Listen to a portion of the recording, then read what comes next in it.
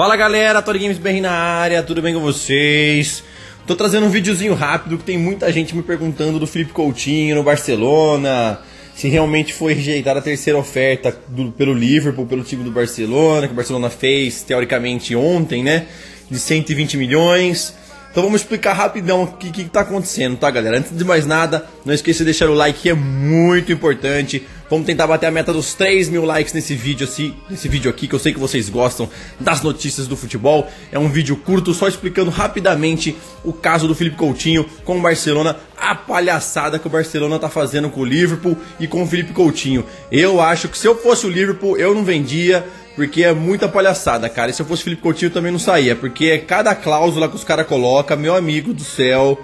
Segundo o jornal inglês Mirror, que é um jornal muito importante na Inglaterra, o Barcelona colocou umas cláusulas absurdas para contratar o Felipe Coutinho, galera. Vamos, vamos assim, ó.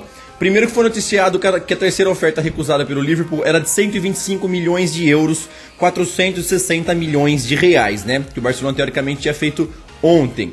Só que não foi bem assim, galera. É assim, ó.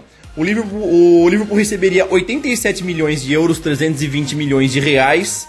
Daí teria cláusulas malucas, que daí elevariam o, jogador, o valor do jogador em mais 38 milhões de euros, dando assim no total 125 milhões de euros, os 460 milhões de reais. Só que olha as cláusulas para o Liverpool receber esses outros 38 milhões.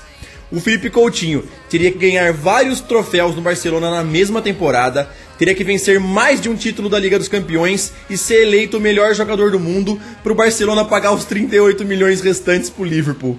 Ô Barcelona, você tá de brincadeira, né? Você tá de brincadeira, cara. Que isso? Meu Deus do céu, cara. Nossa, ó.